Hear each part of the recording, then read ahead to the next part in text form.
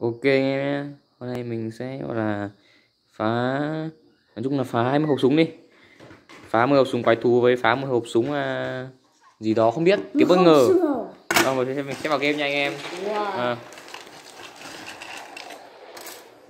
hay mua mẹ bộ chuột lam đi nhỉ? Đéo đéo mua hộp súng nữa nhỉ?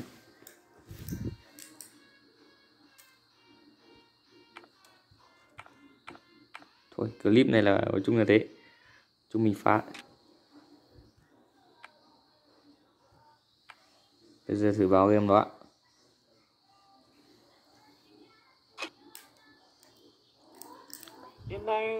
Mày xem anh thể hiện này.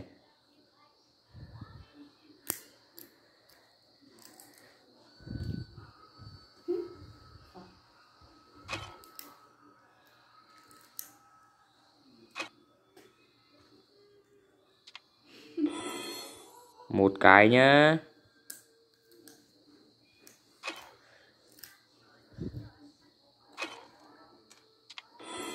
tổng cộng là 240 kim cương đúng chưa?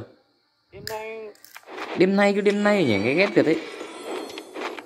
Đấy tổng 395 bây giờ sẽ quay. Anh 10 hộp quái thú trước nhá xong mày 10 hộp ừm, kia sau nhá.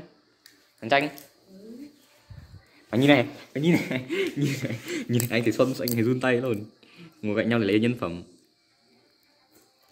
Nhá một hai ba hai ba. Ý, mẹ xui quá nhở.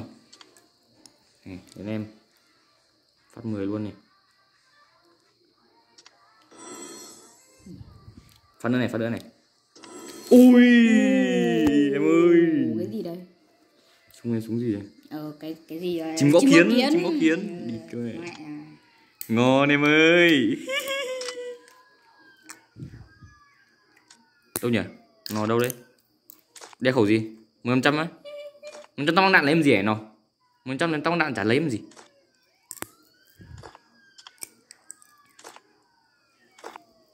Osaka này ngon này. Tăng một tô bắn này. Osaka này ngon hơn.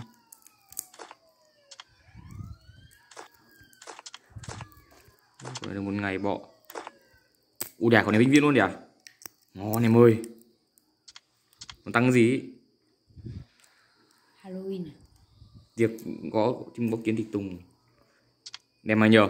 À hát hương rồi Sát thương Độ chính xác. Ừ cái bắn được đốt hơn rồi bắn Đỡ anh nhờ Mẹ đi bắn nhau mẹ cầm chim bốc kiến đi bắn Thì mẹ khỏe luôn. Ok Nói chung mình dừng clip đây. Cảm ơn anh em đã xem nhé